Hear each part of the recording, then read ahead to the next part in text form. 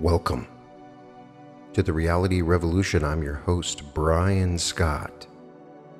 So, we're going to talk today about how your thoughts create reality. It seems like I talk about that all the time, but if you go back through my episodes, I don't have any episodes on the fact that your thoughts create reality.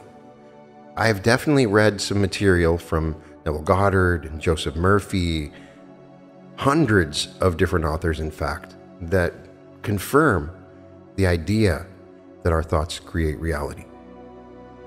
But I want to stand with you here today and make the argument with you specifically that your thoughts create reality. Because I know I'm talking to someone out there that can hear my voice that simply doesn't believe this. Or they act like they believe it, but they simply don't when it comes down to it. They will take actions that simply go against the idea that their thoughts create reality. There are a lot of people who are offended by the idea that we create our reality. They see it as a version of blaming the victim. Nobody asked for bad things to happen to them. Of course not. But as someone who's been helping people change their thinking and behavior, I can also say that I couldn't agree more with the idea that we do indeed create much of our reality. Denying this denies your power. So it's very important that you accept this fact before you do anything else. Your thoughts create reality. If you Google the power of thoughts, you get a lot of results, including words like consciousness and swami and manifest and unleash. To me, these words suggest a basis not rooted securely in science and more rooted in marketing hype, but they are all based in truth. But let's see if we can find the science behind this. I want you to know that the influence your thoughts have on your physical and perceptual reality is well documented by scientific evidence. I think more articles should emphasize this point because it is the very real power we have to change our lives. If I was talking to my dad, who is really the scientific version of me, he would say, Brian, this is just magical thinking. I can assure you, it is not. Thoughts are real, tangible, measurable things, electrical impulses. They are powerful, and you can direct and use them to help you. Unfortunately, most of us let them hurt us unknowingly. My thoughts used to really hurt me. And I have chosen to change my thoughts, and it has changed my life. So, the first concept I want you to understand that is really important is that your reality is the product of your unique brain. At the most basic level, your unique reality is constructed by your unique brain.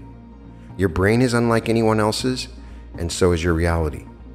Making sense of the world and what happens is the result of your individual brain's interpretation of the signals it receives as you go about your days interacting with your environment. Much of what you think of as reality is really a construction of your brain. This is really important for you to understand, and I continually try to remind myself of this. You do not actually experience the world directly. In the neuroscience of reality, Debbie Hampton writes, it may feel as though you have direct access to the concrete physical world through your senses, but you don't. Your senses do not experience the world directly. When you touch something, it feels like the touch is happening in your fingers. However, it is not. It's happening in your brain. The same is true for all your senses. Seeing doesn't happen in the eyes, hearing doesn't take place in your ears, smelling does not happen in your nose. These are all activities of your brain. In his book, The Brain, The Story of You, David Eagleman writes Here's the key the brain has no access to the world outside. Sealed within the dark, silent chamber of your skull, your brain has never directly experienced the external world, and it never will. Instead, there's only one way that information from out there gets into the brain. Everything you experience, every sight, sound, smell, rather than being a direct experience, is an electrochemical rendition in a dark theater. This is an important distinction. It means that your brain assigns meaning to the electrical signals it receives. Its interpretation is determined by your subconscious. Each of us experiences the world subjectively as our brains interpret stimuli determined by our physical brain function, memories, beliefs, and attitudes about ourselves, others, and the world shaped by family, religion, school, culture, and life experiences past and present. These influences are typically below conscious awareness and determine how a person responds to the world, interacts in relationships, and thinks of and talks to themselves. So, stimuli coming into your brain are neutral.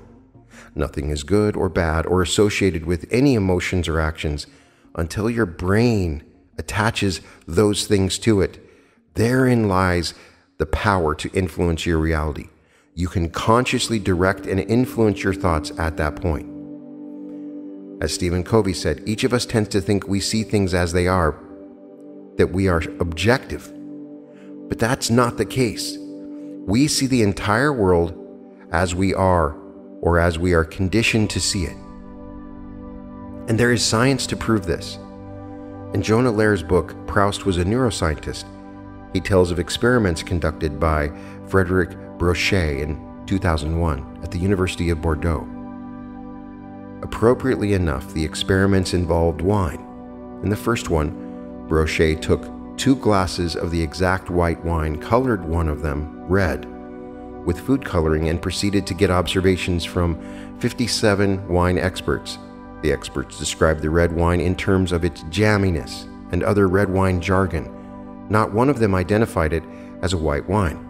In another test, Brochet took the same medium quality Bordeaux and served it in two different bottles. One bottle was labeled to look like a fancy fine wine, while the other was labeled to resemble a common table wine. The wine experts gave the exact same wine in different bottles very different ratings.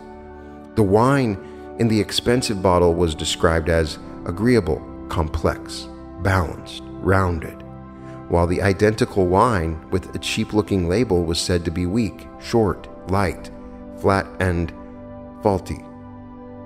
What these wine experiments illuminate is the omnipresence of subjectivity. Our human brain has been designed to believe itself, wired so that prejudices feel like facts, opinions are indistinguishable from the actual sensations. If we think the wine is cheap, it will taste cheap. If we think we are tasting a grand cru, then we will taste a grand cru. Your brain is a subjective lens through which you view your life. Lehrer explains that the taste of wine, like everything in life, is more than the sum of our senses. What we experience is not what we literally sense. Our experiences are the interpretations of sensations by a subjective brain which factors in our unique beliefs, biases, memories, and desires every time. In a very literal sense, your brain is a subjective lens through which you experience life. Lehrer goes on to say that even if we could experience the wine exactly as it is, without subjectivity, we would still all taste it differently because each of our brains is unique on a cellular level. And the part of the brain which interprets taste and smell is extremely malleable. It is forever growing and pruning neurons throughout our lives. The research of Stanford psychologist Carol Dweck further illustrates the influence of our minds on our reality. Her research is the basis of an understanding of how your brain and mindset affect your reality. In her book, Mindset The New Psychology of Success, she explores the power of our beliefs, both conscious and unconscious, and how even the simplest changes can have a measurable impact on almost every aspect of life. She writes For 20 years, my research has shown that the view you adapt for yourself profoundly affects the way you lead your life. It can determine whether you become the person you want to be and whether you accomplish the things you value. Harvard psychologist Ellen Langer studied the effect of thoughts on hotel maids. Even though these women spent all day moving their bodies, pushing vacuum cleaners, going up and down steps, bending and stretching, 67% of them said they got no exercise. Langer told half the maids that their activity level met the U.S. Surgeon General's definition of an active lifestyle. The other group did not receive similar information. Both groups just did their jobs as usual for a month. Langer's team measured the maids' physical health statistics. At the beginning of the study, the findings matched the maids' perceived lack of exercise. When measured a month later, the group that was told their job actively qualified as exercise saw a decrease in weight and waist to hip ratio and a 10% drop in blood pressure. None of the maids had changed their routines. The only differences were in how one group viewed what they did. According to Langer, if you believe that you are exercising, then your body responds as if you are. One study showed that being told you slept well or poorly determined how people's bodies physically responded. In the study, researchers explained the effects of REM sleep on sleep quality and told participants that average REM sleep should be around 20 to 25% of total sleep. Participants were then divided into groups assigned a sleep quality fitted with sensors and told that the researchers were monitoring vital signs in REM sleep. The monitoring was false, as were the group labels. The below average group was led to believe they got 16.2% REM sleep, while the above average group was told they got 28% REM sleep. After the results were dispensed, the researchers administered cognitive tests to the study participants, assessing basic math and verbal skills. People who were told they had low quality sleep performed worse on the tests and showed more cognitive deficits than the control and high quality sleep groups. Everything in your life is similar to the wine, the maid, and the sleep experiments. Everything. Every situation or event, past, present, or future, becomes what your brain defines it to be. In a recent interview I had with Nick Zay, he refers to the universe as a placebo universe. So when you look at everything that you're defining your life as, it is all happening within. There is no true reality, it is only subjective. In this way, in this understanding, your experience of reality is your own creation. Your brain even physically responds by reinforcing neural connections that coincide with your predominant habitual thinking, a concept known as neuroplasticity. In other words, your recurrent thinking patterns physically shape your brain's form and function, which then reinforces and encourages more of the same kind of thinking. It might feel in some situations like you can't choose your thoughts, that everything is subconscious but at a minimum, you can choose how you respond to your thoughts. There is your control. This is your power you have to change your brain and life for the better. Controlling your thoughts, changing your thoughts, is directed neuroplasticity. It gives you the power to choose. Change your thoughts and change your world, as Norman Vincent Peale says. Neuroplasticity is actually an umbrella term referring to the many capabilities of your brain to reorganize itself throughout your life due to your environment, behavior, and internal experiences. Science used to believe that the brain was only changeable during certain periods in childhood. While it is true that your brain is much more plastic in the early years and capacity declines with age, plasticity happens throughout your life, from birth to death. Science has confirmed that you can access neuroplasticity for positive change in your own life in many ways. Harnessing neuroplasticity in adulthood isn't quite as simple as some people promise, but it can most definitely be accomplished under specific circumstances. From childhood through adulthood, the events of your life shape your brain. As little people grow, interact with others, and explore the world, connections are wired in their brains based on their experiences. When you're young, most of what happens is out of your control, or it feels like that. As adults, our brains are reflections of our daily routines, your habits, both good and bad, literally get wired into your brain. As an adult, neuroplasticity does not happen as readily as it does in a child's brain, at least according to science, but it does happen. There are ways you can intentionally encourage and guide neuroplasticity to change in adulthood.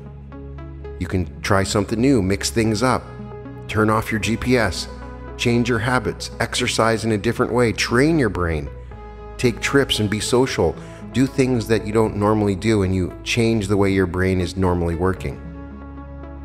Your mind sculpts your brain. Everything you think, hope, feel, and imagine physically changes your brain for better or worse.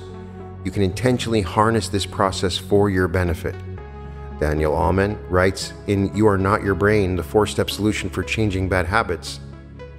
We can actually use the mind to change the brain. The simple truth is that how we focus our attention, how we intentionally direct the flow of energy and information through our neural circuits can directly alter the brain's activity and its structures. There's ways we can do this through mindfulness. Research about the positive impact of mindfulness on the brain and mental health points to neuroplasticity as the cause in mindfulness by intentionally directing attention inward and cultivating awareness of the breath or thought and feelings, you are becoming aware of your brain's default mode network and exerting control over it. When you guide your default mode network, you're interrupting habitual thought patterns and orienting your brain in the present moment. Secondly, meditation, along with many scientifically proven benefits of meditation for your brain, it increases neuroplasticity Meditation has been proven to decrease stress, anxiety, and depression, which has been shown to limit neurogenesis and the birth of new brain cells. And you don't need to meditate for years to start reaping benefits. One study showed brain changes after just eight weeks of regular meditation. Third, visualization. Neurons fire and chemicals are released in your brain whether something is real or imagined. Because as I said before, you're not experiencing the actual world. Sometimes the brain doesn't know the difference.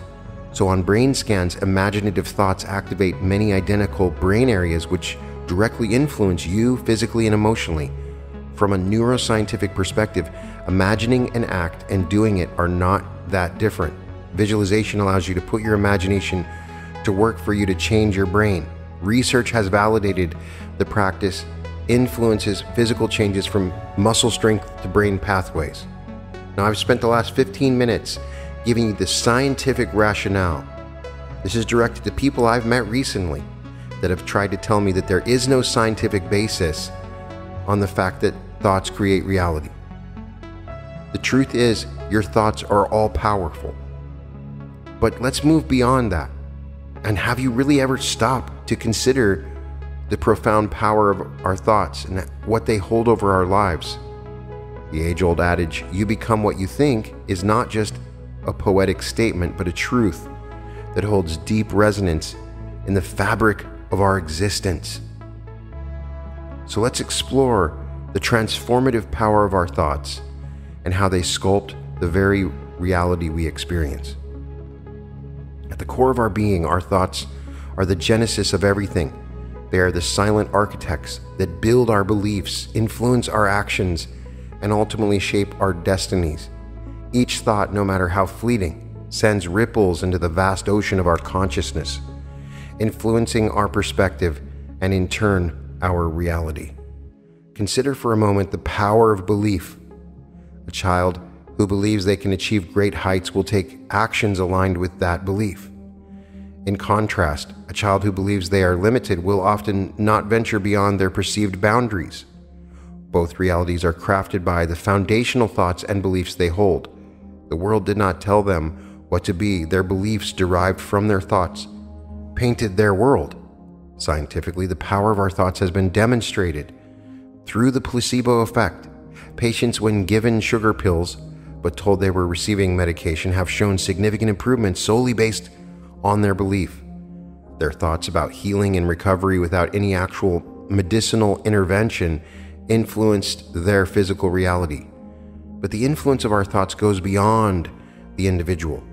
Thoughts, especially when amplified, collectively shape cultures, societies, and the course of history. When a group believes in a cause, be it justice, innovation, or revolution, their collective consciousness becomes a force of nature, moving mountains and redefining reality. When we start to really think about thoughts, we start to think about imagination. something that we've talked a lot about, particularly with Neville Goddard, who really loved to use the term imagination creates reality, referring to the imagination as God. The realm of the imagination is often considered the playground of the artist, the inventor, or the child. It's seen as a divergence from the real world, a place of dreams, fantasies, and fleeting whimsy. But what if I told you the power of the imagination is the very crucible in which our reality is forged? At its essence, imagination is the ability to form images, ideas, and sensations in our mind without any immediate input from the senses. It is the canvas of creativity where everything and anything is possible. Every great invention, piece of art, or social movement at its inception was just a fragment of someone's imagination. Take the Wright brothers, for instance. Before their aerodynamic feats became a reality, the idea of human flight was merely a figment of imagination, relegated to myths and dreams. But it was their ability to vividly imagine and then act upon the imagination that transformed a world bound by gravity into one where we could soar among the clouds However, the alchemy of turning imagination into reality isn't exclusive to monumental achievements. It's an integral part of our daily lives. When you visualize your goals, imagine a desired outcome, or mentally rehearse a skill, you're laying the cognitive blueprints for that scenario to manifest in reality. And I've now pointed to this neuroscientific research that basically says that our brains can't distinguish between what we're vividly imagining and what we're actually experiencing. What I am fascinated by is that you can find echoes of this bouncing around everywhere from Tony Robbins to New Thought churches to t shirts at Target. The Secret, which has sold millions of copies, claims to teach you how to unlock the hidden potential of the universe to bring all you desire with the law of attraction. Regardless of the modality or philosophy, the simple explanation is this Focus on the desired outcome in your mind and it will happen. This isn't a new idea and not by a long shot. Back in the 1800s, Emerson said, Speak your latent conviction and it shall be a universal sense, for the inmost in due time becomes the outmost. I create reality by taking an idea in my mind and bringing it into existence. Going back hundreds of years, people have held the belief that human mind is capable of changing reality. It's obvious. I have an idea in my mind for a chair. I think about the, what the chair will look like, what to make it out of, and what color it will be, all in my mind. Then I create the chair by purchasing the materials and going to work on the wood. And the chair is created. What about things we don't seem to have direct control over? We've talked about the science of this, and most of those things are with the body or things we have direct control over. Can this same creative process explain how we create all parts of our reality? Let's start with how our thoughts can change our minds and make us seek out certain types of information. If I spend a day thinking a negative thought such as, I am lazy, how would that impact me? How would that impact you? I would consider myself lazy and also discover other thoughts such as, no wonder no one likes me, or I can't be successful because I'm too lazy, or I can't get anything done because I'm too lazy, or it's just going to be too hard because I'm too lazy. The seed thought of I am lazy, when nurtured with constant repetition and focus, grows into similar thoughts. Like attracts like. One thought attracts other thoughts that are similar. Most have experienced this with the downward spiral of procrastinating or gaining weight Take it a step further. And it's not hard to see the connection between our thoughts and our actions. Far from pseudoscience, the relationship between positive thinking and positive actions is well documented. Cognitive behavioral therapy is a commonly used technique used for treating anxiety, depression, borderline personality disorder. It's based on the principle that our thoughts, emotions, and actions all influence each other. If I'm afraid of getting in a car crash, I might start thinking about a car turning in front of me, the collision, the trip to the hospital, and someone dying. This sequence will cause physiological changes related to my emotions an increased heart rate, a stomach ache, or nausea, then it will influence my actions by causing me to decide not to get into a car or to not only drive certain roads at a certain time of day. If I repeat this cycle while I'm behind the wheel, I may be so paranoid about an accident that I actually drive worse, thereby increasing my chances of getting into an accident. We've all seen this. This could be a form of manifestation, a self fulfilling prophecy, or creating my own reality. On the positive note, thoughts like I am creative might lead similar thoughts to I could write a book. I should start painting again. These thoughts might result in an uplifted mood, which increases dopamine in the brain and energizes the body.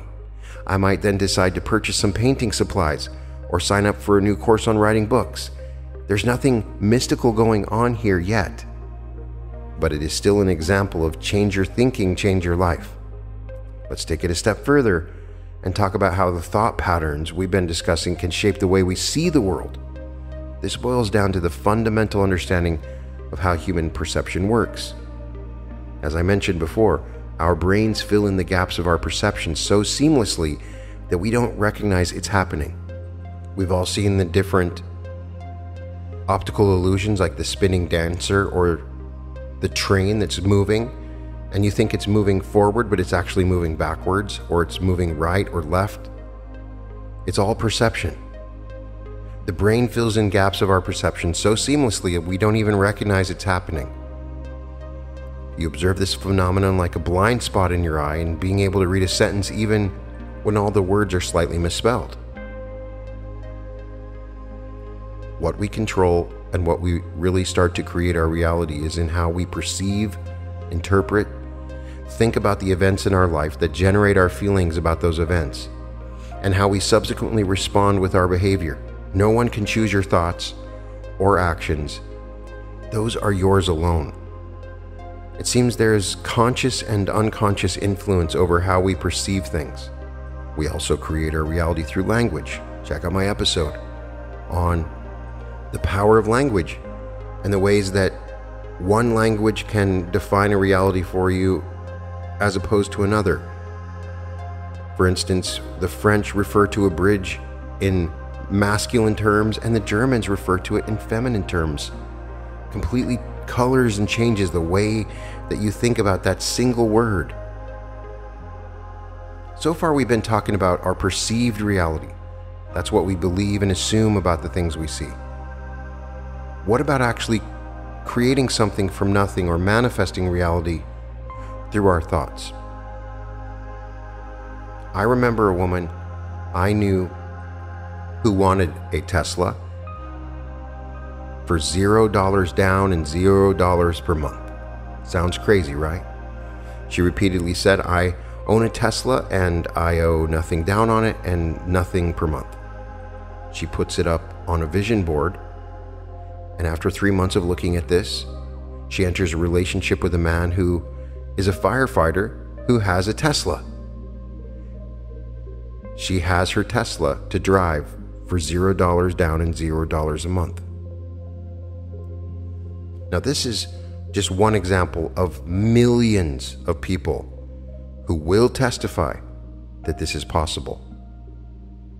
Millions of people testify that manifestation is possible. Every single time I read one of these episodes from an author, they're giving multiple examples. How many examples do you need? Millions?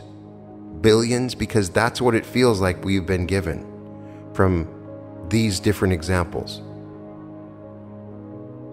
How can merely thinking about something bring it into existence? Throughout human existence, we observe the world around us and create rules and laws to explain it. The scientific method was created as a way to objectively observe, manipulate, measure, and come to conclusions about the natural universe. This arose with the 19th century scientific revolution that brought mechanistic science to the mainstream. Still today, this mechanistic or Newtonian science is the foundation of what is being taught in schools and how most Westerners see the world. It's because of this that they deny the idea that thoughts create reality, because that's looked as anti science. Mechanistic science treats the entire world as a machine. similar to how I press the power button on my computer and it turns on. The natural world responds to events in a predictable fashion. There are a few laws that were created to explain how the natural world works, which you may have heard of. One is that every action has an equal and opposite reaction. Another is energy is never created or destroyed, only moved or transformed. Remember that humans create these laws to make sense of what they observe. Our scientific laws and truths are only current best definitions of what actually is, and they have changed many times over the course of history. There are a few problems with these Newtonian laws, most notably the law of gravity. You've heard the whole apple fell on Newton's head story, right? First of all, it's not a true story. More importantly, while Newton was the first to call it gravity and come up with a mathematical formula for it, he was wrong. Newton believed gravity was action at a distance or that objects exert some invisible force that attracts other objects. Well, there are a few interesting scenarios where Newton's law didn't quite hold up. And we now know, given new evidence and new tests, that Newton was wrong. So, how does gravity actually work? Einstein is the currently accepted winner of this debate with the theory of general relativity. Rather than action at a distance, Einstein's theory is that objects actually curve the fabric of space time, causing them to move like a marble spinning around a drain, always headed towards the eventual endpoint. So it's clear that our understanding of the universe, that there are things known and there are things unknown, and in between, as Aldous Huxley said, are the doors of perception. So, what does all this science mumbo jumbo have to do with creating your own reality? It serves as an important point to show us that we don't have all the answers, and that the current way of defining cause and effect is based on an old mechanistic viewpoint that's been disproven.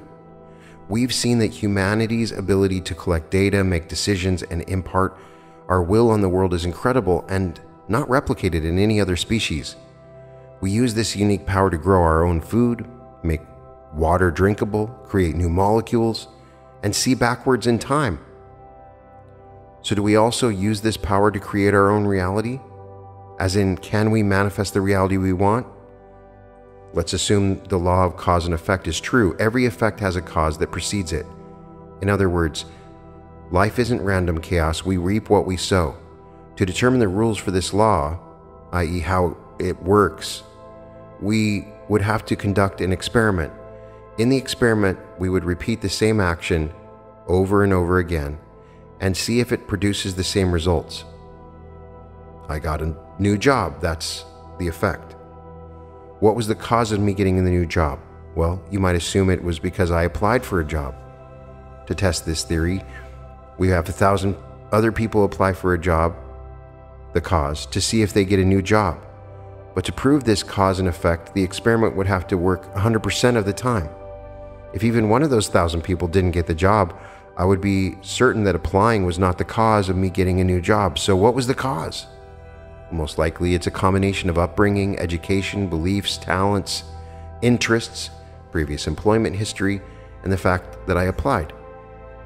How can I prove this? I can't. There's no way to perfectly reproduce my entire life to see if things still work out the same. In short, we can't know what the cause is to a lot of the effects we see in our lives. Neville Goddard said there was one cause, and that was the Creator. We can get into that on another level. It's not the point of this episode. I want you who are doubters, that are of the scientific background, to look at this and understand that it's still very possible. There's a huge limitation in the scientific method. It's simply unable to account for all the data in human life. People have been pointing out for years that the mechanistic viewpoint of how the world works ignores or denies human agency, values, creativity, and personal or individual evolution. When science is unable to prove something, what are you left with? Direct experience, intuition, and faith. Our Newtonian upbringing causes us to assume the outcomes of our lives are exclusively due to physical earthly processes, but what if they're not? What if, like millions of people, have believed over the centuries there's not just physical law and also spiritual law? What if the earthly is but the showing forth of some of the results of that law? This idea isn't at odds with science, physics, or mathematics. We can accept those principles as true while still having faith in the unseen workings of the universe. All we're doing is adding an unknown variable to our equations. The cause of getting a job could be a daily visualization and affirmation practice. The mind and spoken word could influence the ethers to bring about the job I desire and place me directly in its path. I have no way to know for certain based on the limitations of current scientific models, and maybe I'm not meant to know. Maybe faith is a part of the equation. But quantum physics does establish that there is a role of consciousness with the observer effect.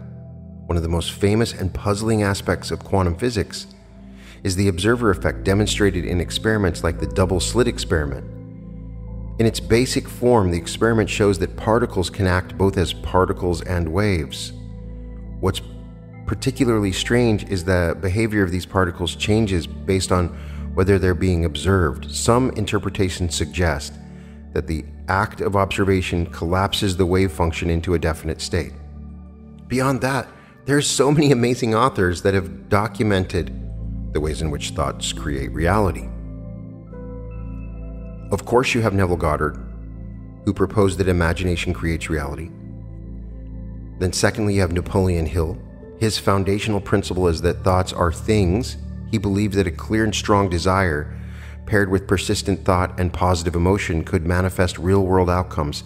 He emphasized the importance of the subconscious mind, faith, and visualization in achieving one's desires. Then you have Joseph Murphy, who proposed that our subconscious processes are the creators of reality. Then there's James Allen.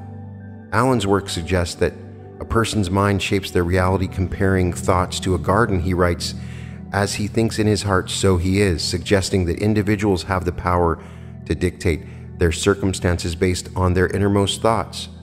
Then you have Dr. Wayne Dyer, who taught and believed the transformative power of thoughts. He said that change the way you look at things, and the things you look at change, emphasizing the role of perception in shaping reality. There's Louise Hay, Rhonda Byrne, Dr. Joe Dispenza, Deepak Chopra, Neale Donald Walsch. All of them propose this. There's hundreds more. So, if you don't believe that your thoughts create reality at this point, I'm not sure what else I can do. The process of actually creating the reality that you want is an art form. And in many ways, it's that old story of the blind men that come upon the elephant. I've said it many times, and so many speakers love to use that analogy. But we are all the blind men that come upon this elephant. Some feel the trunk, some feel the tail, some feel the leg, and our perception of that element is colored by a very limited understanding of this world. So we don't entirely know, and we may not ever entirely know the process of it. We've talked about all this, but let me give you my story. I would watch YouTube, read books, and become aware of this phenomenon, tested it out very often, something very simple. I would like to get a red apple. And I would say to myself, I want this red apple. And then I would start researching it and say, oh, I need to do a little bit more than just think about the red apple. I'm going to taste it. Hold the red apple in my hands. Taste it.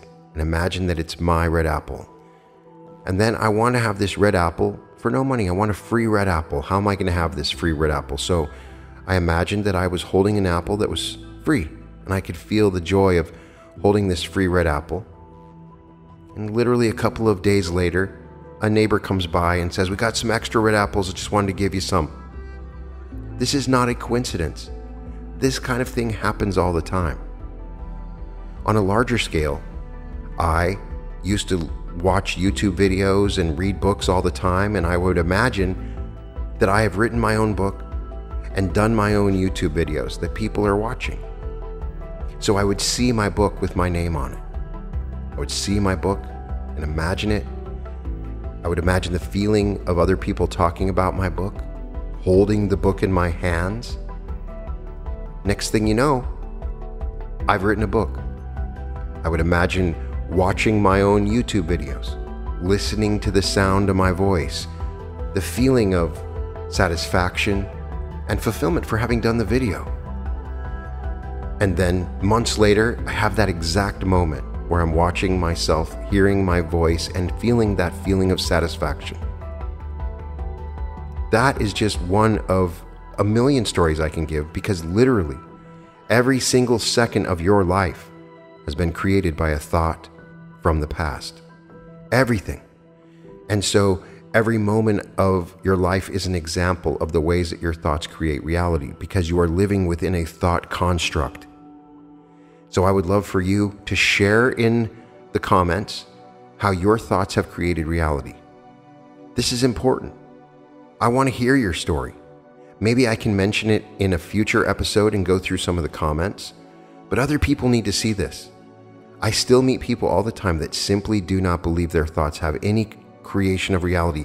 And that is creative. When you say to yourself, my thoughts don't create reality, then you actually take away some of the really creative power of your thoughts. So please put in the comments anything, any story that you have. Maybe something happened today of your thoughts creating reality. And I'm speaking to that person in the back of the room that doubts what I'm saying. And I'm saying, look, if you don't want to believe, that's fine. But if you choose to believe this, then you have the power to change your world. You have the power to do whatever you want. And this is an amazing power.